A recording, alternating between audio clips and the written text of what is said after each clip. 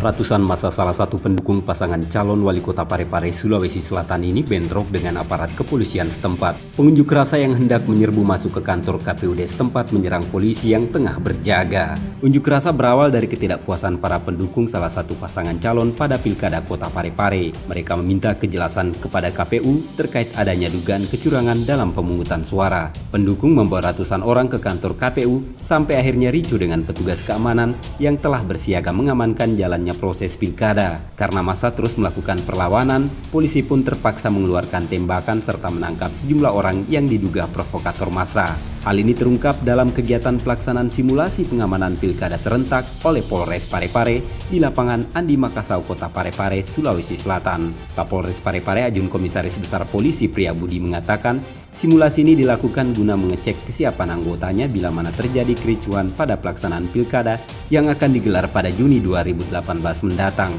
kita bersama TNI Polri dan stakeholder yang ada yang membantu dalam pengamanan nantinya pada saat pemilu kada sudah kita laksanakan. Jadi tadi terlihatlah gambarannya ya apabila situasinya uh, anarkis tadi digambarkan anarkis, inilah CB-CB ataupun cara bertindak Polri ya dalam hal mengamankan para perusuh maupun orang yang melakukan tindakan anarkis.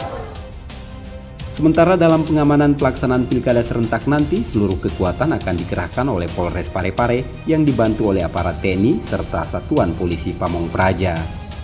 Dari Parepare, Sulawesi Selatan, tim liputan Pijar Channel memberitakan